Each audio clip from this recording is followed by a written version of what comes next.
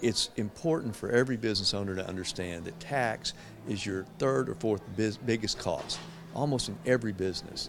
The good news is it's a controllable cost. There are things that you can do, there are steps that you can take to minimize it. Uh, and one of the things that I really enjoy doing in my professional career is helping companies pay what they owe, but not a penny more. Advice to entrepreneurs, because uh, uh, I, I, really admire what you did. You you really kind of carved a new niche in um, in in your space.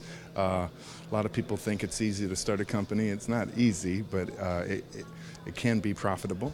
You know, one of the fun things, Jeff, that I get to see in my career, I look at all different types of business. And the thing that continues to amaze me is how easy it is to make money. There's a million different ways to do it. You know, whether you're inventing new tech or you're starting a new angle on professional services or maybe you're opening a new chain of dry cleaners. The, the real issue is you got to get out there. You got to get in the arena. You got to be part of it. And it's hard work but you can do it. So, you know, my view is if you want success and you want to work hard enough for it, you'll have it.